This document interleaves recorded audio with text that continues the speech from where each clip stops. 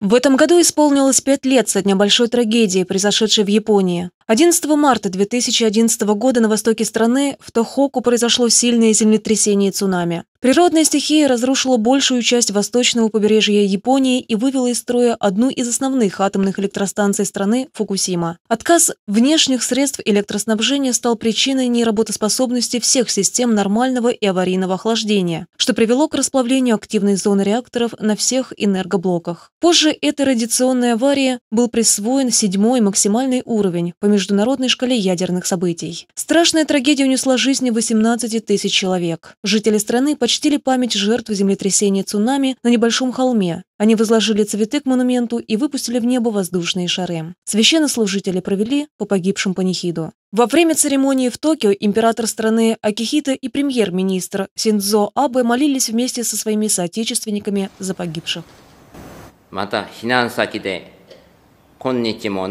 После землетрясения и цунами последовали аварии на ядерном реакторе, и многие люди были вынуждены эвакуироваться из-за радиоактивного загрязнения.